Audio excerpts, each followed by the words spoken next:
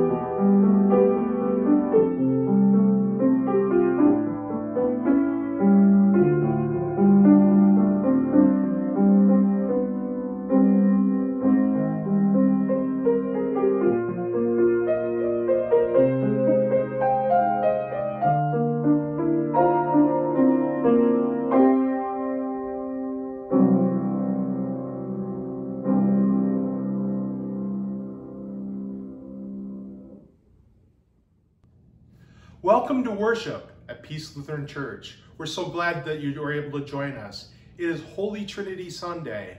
So thank you for joining and let's begin our service.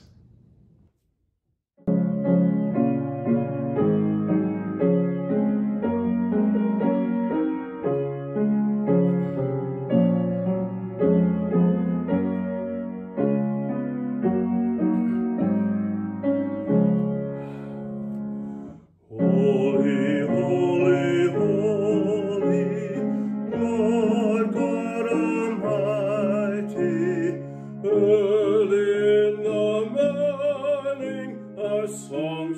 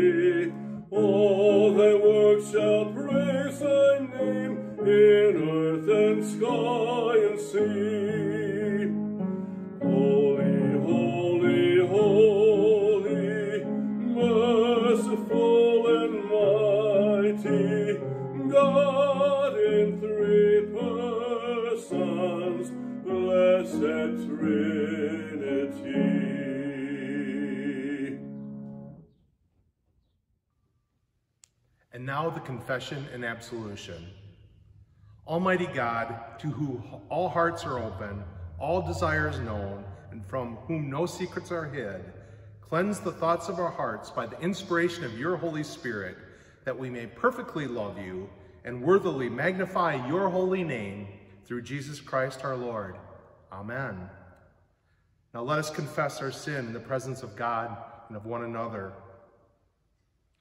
Gracious God, have mercy on us. We confess that we have turned from you and have lived in brokenness and despair. We are truly sorry and humbly repent. In your compassion, forgive us our sins, known and unknown, things we have done and things we have failed to do. Turn us again to you and uphold us by your Spirit, so that we may live and serve you in a newness of life. Through Jesus Christ, our Savior and Lord. Amen. Now God, who is rich in mercy, loves us and makes us alive in Christ. In the name of Christ Jesus, your sins are forgiven. May Almighty God strengthen you with the power through the Holy Spirit and move you forward in Christ's love and mercy. Amen.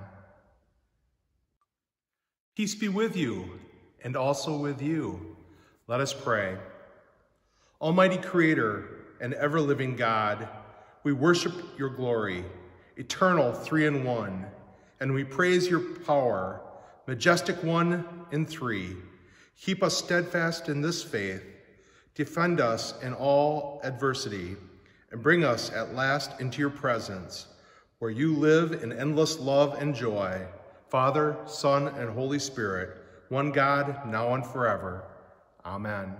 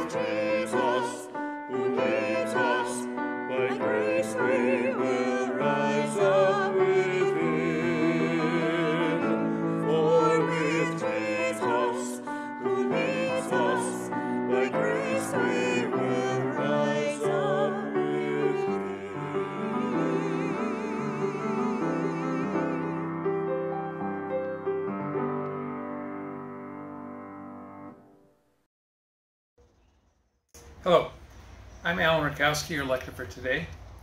The Old Testament reading is from the sixth chapter of Isaiah, verses 1 through 8. In the year that King Uzziah died, I saw the Lord, high and exalted, seated on a throne, and the train of his robe filled the temple. Above him were seraphim, each with six wings. With two wings they covered their faces, with two they covered their feet, and with two they were flying. And they were calling to one another, Holy, holy, holy is the Lord Almighty. The whole earth is full of his glory. At the sound of their voices, the doorposts and thresholds shook, and the temple was filled with smoke. Woe to me, I cried, I am ruined, for I am a man of unclean lips, and I live among a people of unclean lips and my eyes have seen the King, the Lord Almighty. Then one of the seraphim flew to me with a live coal in his hand, which he had taken with tongs from the altar. With it he touched my mouth and said, See, this has touched your lips. Your guilt is taken away, and your sin atoned for. Then I heard the voice of the Lord saying, Whom shall I send, and who will go for us? And I said, here am I, send me. The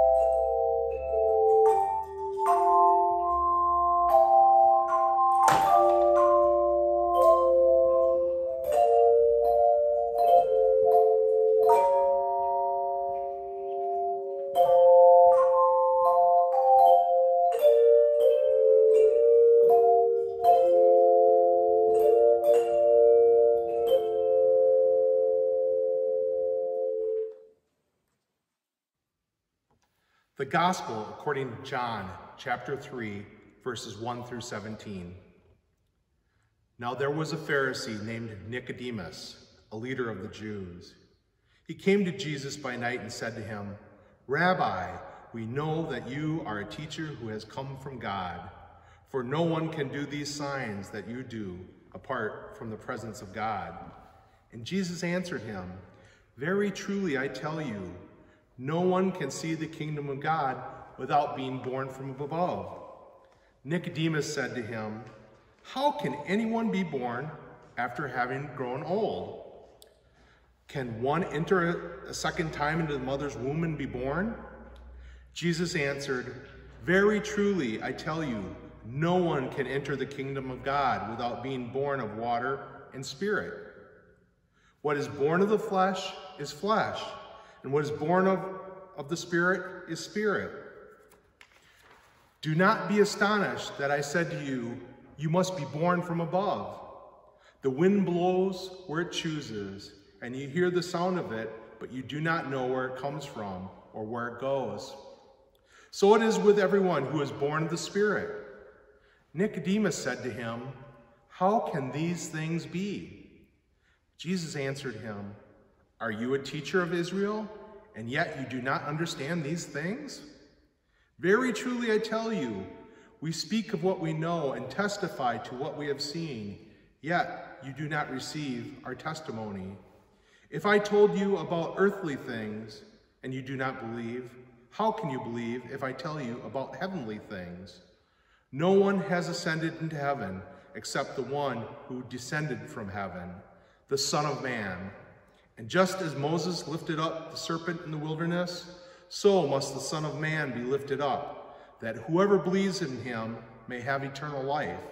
For God so loved the world that he gave his only Son, that everyone who believes in him may not perish, but have eternal life. Indeed, God did not send the Son into the world to condemn the world, but in order that the world might be saved through him. The gospel of the Lord. Thanks be to God. Amen. Today, we celebrate the Trinity, the triune God, the three in one. God the Father, one with the Son, who is with the Spirit. We often refer to the triune God as Father, Son, and Holy Spirit. John writes in the gospel reading today that the religious leader Nicodemus comes to Jesus to understand his teachings. From the beginning, we are given a clue that Nicodemus knows there's something special about this man named Jesus, and that there is a relationship between Jesus and God when he says, we know that you are a teacher who has come from God, for no one can do these signs that you do apart from the presence of God. So Nicodemus understands there is a connection. Nicodemus is curious about Jesus, but I can imagine that he comes to Jesus with a sense that he is in the presence of something or someone very special, and he comes to learn. Jesus then goes on to tell Nicodemus that one cannot enter heaven without being born of the water and spirit. Water being of earthly symbol of life and baptism, and the spirit being one with God. It is in this conversation that Jesus is expressing the reality of the triune God, the relationship of Father, Son, and Holy Spirit. It can capture, capture our imagination but it can also cause us some confusion. But I do love the imagery of our triune God in relationship, engaging with the world through so many beautiful ways. Nicodemus is able to engage with Jesus directly, to speak with him directly. Nicodemus encounters the Messiah, God with us. All of creation, the beauty and diversity come into being through the words God speaks. And the Holy Spirit of God blows in the winds across the waters.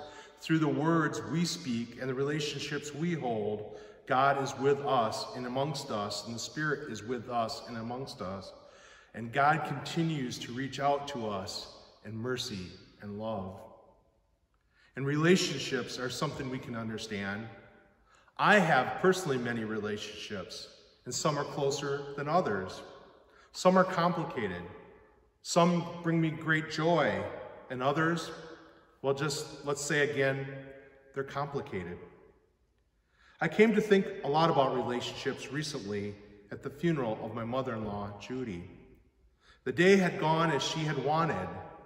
There were a lot of stories about Judy and the family and a fair amount of laughing. It was during the visitation that I came to appreciate how complicated life-giving, and sometimes life-taking relationships can be. During the visitation, there was no receiving line for family like there are many of the visitations you have probably been at. People mingled and talked, looked at pictures, Some seemed to be content to sit and have deep thoughts. During the visitation, Karen, Katie, and I saw a lot of friends from DeForest, many who had never met Judy, but were there to support us. There were people from places Judy had worked in the past. There were people from American Family Insurance, where Karen works. There were people that Katie had gone to high school with. There were people from church, the church Judy had belonged to along many years ago. There were neighbors who had moved away decades ago. There were in-laws, Judy's brother, nieces, nephews, children, grandchildren, and great-grandchildren. Relationships of every kind were on display at the visitation, and it was beautiful. We all seem to be one unit, unit, united in Judy. When I dig deeper and a little bit deeper into those relationships, things get a little bit more complicated. I'm sure I could easily confuse poor Nicodemus if he had come to Judy's visitation and had tried to explain everyone and how the relationships came to be in their current state. But in this moment of love and respect, the relationships that were hard or broken were forgotten for a few minutes. Instead, relationships that were strong and full of love for Judy were in full display as we talked and laughed in the moment. It can sometimes be awkward and be an awkward dance that takes place during a time like this. As old grudges can be left at the door for the sake of the family, but the awkward dance nonetheless took place, and it seemed less awkward as everyone seemed to remember the reason we were there to honor and remember Judy. I see the triune God in relationship as the three in one, expressing itself to the world, always coming into relationship, no matter how broken we feel or how broken we feel our relationship is with God. The Spirit of God is in the breath of our words and songs. It is in the quiet of our eternal struggles and prayers. Our lives are intertwined with the divine majesty of love of our God. Ancient writers of the Old Testament sometimes had a hard time describing God's being. And authors today sometimes refer to human relationships or moments of awe to point to God. Jesus, the Word of God made flesh, and the Holy Spirit, the very breath of God passed on to the world, provides us an understanding of the relationship that God has with us and all creation. It is in John's words that God comes to us. For God so loved the world that he gave his only son. This is how God loves us, that God, the holy other, comes to us in human flesh, feels the sting of death, but through the power of the Spirit is resurrected through God's promise we hold to the power of the resurrection for all creation. It is the good news that our triune God is with us, in relationship with us, no matter how complicated, always and forever. Amen.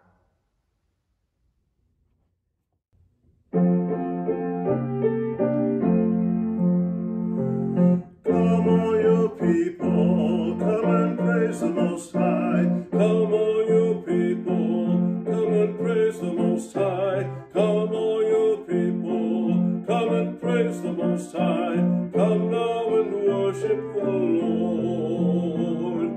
Come, all you people, come and praise the Savior.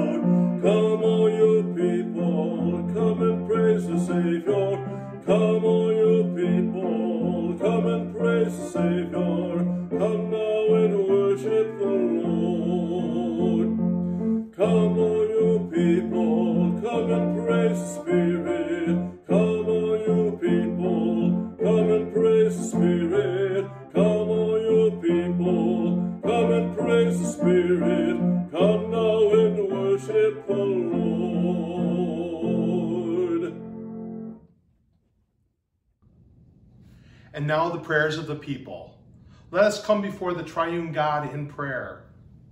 And let's take a moment of silence. We pray, O God, for your holy church around the world. Revitalize and renew us, that we may be reborn once again through the waters of baptism and the blowing wind of your Spirit. Lord, in your mercy, hear our prayer. We give thanks for your power revealed to us in creation, for cedar and oak trees, for rushing waters, for the echoes of thunder. Lord, in your mercy, hear, Hear our, our prayer. prayer. We pray for the nations and our leaders, that led by your Spirit, they work towards a world where all your children enjoy peace. We pray especially for nations currently experiencing war or turmoil. Lord, in your mercy, hear, Hear our, our prayer. prayer. We pray for the healing of all those who suffer, especially victims and survivors of trauma and violence. Give respite to those living with PTSD or any other mental health concerns. Lord, in your mercy, hear, Hear our prayer. prayer. We pray for this worshiping community, that the splendor of your majesty and the holiness of your mystery may be glorified through our worship and our relationships with one another. Lord, in your mercy, hear our, our prayer. prayer. We give you thanks, O God, for those who have died in their faith, for the family of Sean and Kirsten Ziegler and the Onsager family with the death of Kirsten's mother, Susan Rude, for Terry Parker and family with the death of his wife, Mary Parker, for Tom and Karen Kreis and family with the death of Karen's mother, Judy Harp. Lord, in your mercy, hear, Hear our, our prayer. prayer. We lift our prayers to you, O God, trusting in your abiding grace. Amen. The peace of Christ be with you always, and also with you. This is the point when we remember that our congregation gathered for celebration of Holy Communion. We heard again the story of God's mighty acts and of the love shown us in the death and resurrection of our Lord Jesus Christ. With thanksgiving, we remembered that in the night in which he was betrayed, he took bread and gave thanks and gave it to all his disciples, saying, Take and eat. This is my body given for you. Do this in remembrance of me. Again, after supper, he took the cup, gave thanks, and gave it to all to drink, saying, This cup is a new covenant in my blood, shed for you and for all people for the forgiveness of sins. Do this in remembrance of me. We are given assurance of our Lord's presence through the gifts of his Holy Spirit. Now we bring to you the same bread of life and the same cup of blessing, that you may be strengthened through your participating in the body of Christ. Jesus said, I am the bread of life. Whoever comes to me shall not hunger, and whoever believes in me shall never thirst. Now please join me in the Lord, in the prayer our Lord taught us. Our Father, who art in heaven, hallowed be thy name. Thy kingdom come, thy will be done, on earth as it is in heaven. Give us this day our daily bread, and forgive us our trespasses, as we forgive those who trespass against us.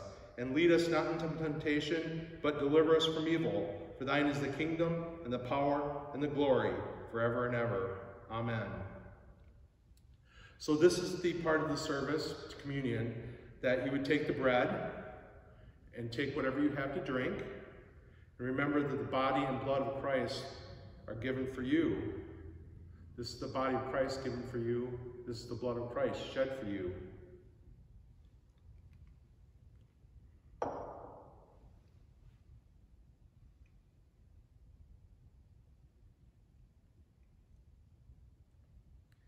And now the communion blessing. Now may the body and blood of our Lord Jesus Christ strengthen you and keep you in his grace, now and forever. Amen. And now receive the benediction. May the Lord bless us and keep us. May the Lord's face shine upon us and be gracious to us. May the Lord look upon us with favor and give us peace. In the name of the Father, and of the Son, and of the Holy Spirit. Amen. Go in peace and serve the Lord. Thanks be to God. Amen.